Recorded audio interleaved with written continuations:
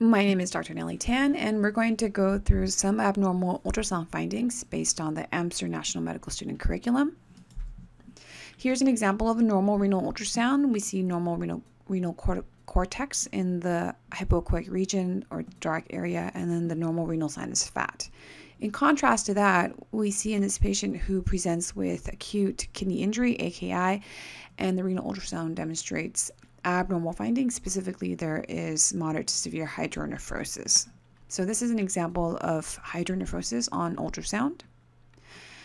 This patient also has an abnormal renal ultrasound findings, and we see that this patient has severe hydronephrosis.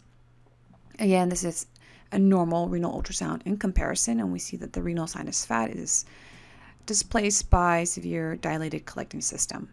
And if we look at this CT, we see that the patient has a right distal ureterovesical stone, which is causing dis- distal, proximal, and distal hydroureteronephrosis. So the patient will require intervention to prevent urosepsis.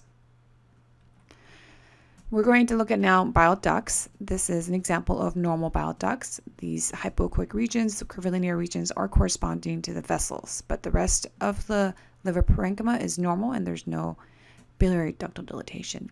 In contrast, this is what an abnormal biliary ductal dilatation looks like on ultrasound. We see there are dilated the entire central and the peripheral ductal systems are dilated, as you can see by these branching hypoechoic dilated tubular structures, which are dilated bile ducts.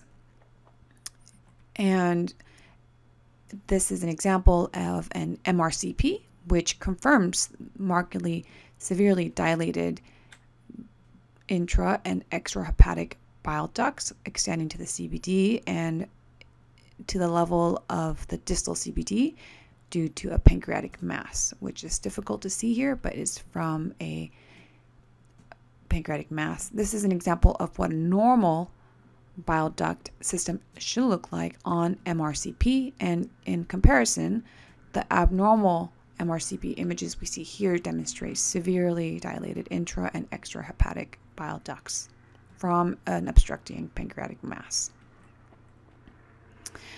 Here is an example of gallbladder stones that we can see on ultrasound in patients who can present with right upper quadrant pain.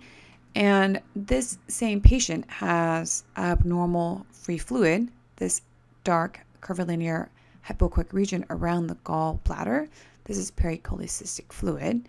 And this patient underwent a CT abdomen pelvis, which confirms gallstones, and there are severe stranding and inflammatory changes around the gallbladder. These findings are consistent with gallstone acute cholecystitis. So this is a cine of the gallstones on that same patient. And again, this is the pericholecystic fluid, uh, which confirms the diagnosis of cholecystitis. If you are unclear about the diagnosis of acute cholecystitis. For example, patient has equivocal, equivocal imaging or clinical findings. You can perform a nuclear medicine study called a HIDA scan. The HIDA scan demonstrates, in this example, here's a normal example of a HIDA scan.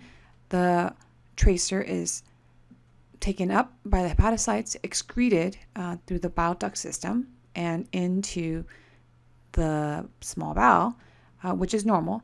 And more importantly, the finding here is that at the end, we see this gallbladder that is uh, filling up with the normal radiotracer.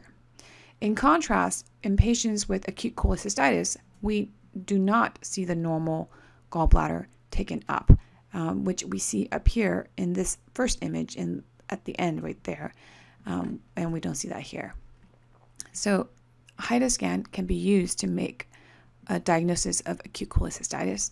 In this setting, the cystic duct to, is obstructed, so normal radiotracer is not taken up into the gallbladder. And so that absence of gallbladder uptake is diagnostic for acute cholecystitis. Here is another example of intrahepatic biliary ductal dilatation. This is just a finding and we need to identify where the obstruction is. So in this case, an MRCP demonstrates that finding is in the CBD. There's a filling defect in the distal CBD consistent with a CBD stone. So we saw an example of a pancreatic mass earlier, which causes intrahepatic dilatation. In this case, we have a CBD gallstone that is causing the intrahepatic biliary ductal dilatation. So that is a summary of some of the abnormal findings we can see by ultrasound with subsequent workup that could be performed by MRCP in the setting of biliary obstruction or HIDA if there is equivocal concern for acute cholecystitis.